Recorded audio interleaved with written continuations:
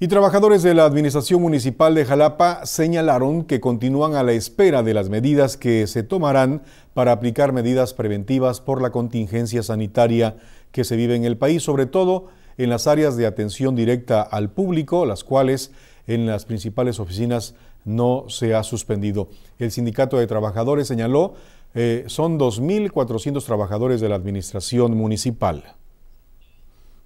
municipal porque todos los trabajadores nos dicen, pues, ¿qué vamos a hacer si están suspendiendo? Eh, no vamos a trabajar. Le digo, bueno, es que el alcalde hasta ahorita no ha dado la instrucción de que se suspendan labores, nada más dio la instrucción de que no se atienda al público para, pues, para protegerse, pero pues hay muchas áreas como el registro civil que no se puede suspender porque pues hay que estar haciendo los trámites de actas de nacimiento, los trámites de actas de defunción y todo lo que se lleva allá, ¿no?